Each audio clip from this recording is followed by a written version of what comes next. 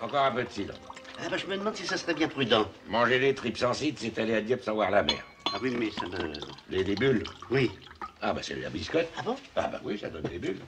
Dites donc, garçon, est-ce que le chou farci est à température? Voilà, monsieur. Très bien. Oh, oh, oh, Mais vous n'allez pas manger des choux farcis après des tripes? Si, Mais non. eh, si. Vous me donnerez de la crème fraîche avec mon chou farci. Bien entendu, monsieur. Oh là là, mais vous n'allez pas manger tout ça Si. Mais à votre âge, ça peut être dangereux. Mais j'ai toujours vécu dangereusement. Moi, des choux farcis, je ne ferais même pas, même pas une bouchée, moi. Mais parce que vous savez pas manger. Vous allez voir. Ça, donnez-nous de calva.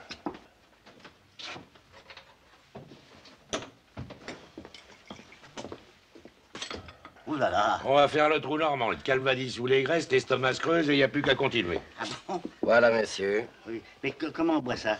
Du sec. Hum, Attendez. Hein là. Hein Oh, c'est... Hein Dis- Donnez-moi du chou farci. Ah, vous voyez Ah oui. Bon, ben, il est dedans, derrière ça, deux bons petits civaliers. va. Bien, monsieur. Oh non Ah, si. Ah non, c'est Si. Oh, oh, oh. Hein Ou alors avec un petit calva. Ah non, avec un bon petit Beaujolais qui a du corps. Ah bon, Eh. bah faites chambrer le Beaujolais, vous. Ah, jamais, voyons. Jamais à la température de la cave. Juliana 57. Parfait. Vous ne savez pas vivre, mon petit. Il n'y a que votre argent qui vit. Vous, vous êtes un fantôme. Oh, bah, le fantôme, il vous dit merde, hein, voilà.